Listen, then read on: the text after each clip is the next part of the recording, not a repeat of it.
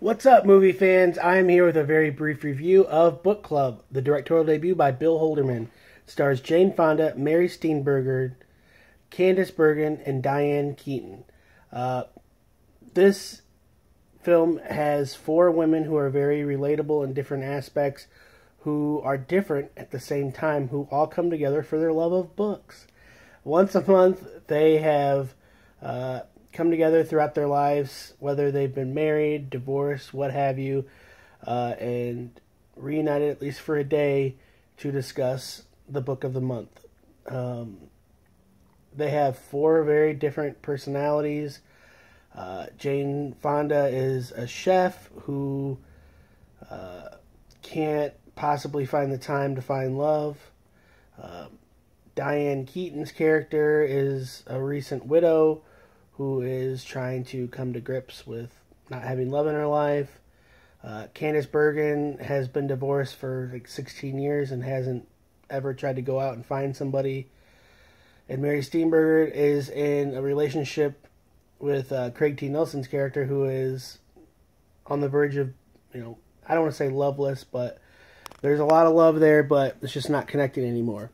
So they decide to read Fifty Shades of Grey and they end up reading all three of the books in the series, and this kind of reignites their passions in different aspects.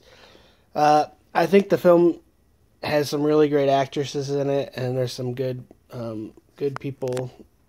You know, some of the males that are in it are very good as well.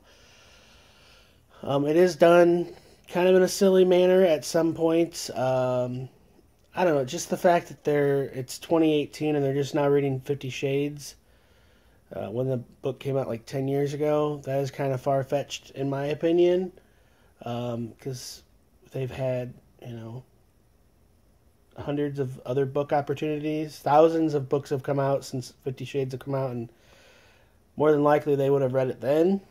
Um, I don't know if maybe the characters wouldn't have grasped it at the time. Also, there's a lot better literature to read than Fifty Shades, so those are like my critiques of the film. It's basically just around the crux of it is why Fifty Shades of Grey. Um, there's a lot of other romantic film or books, I should say, that probably would resonate better with women, um, especially women who are a little bit older.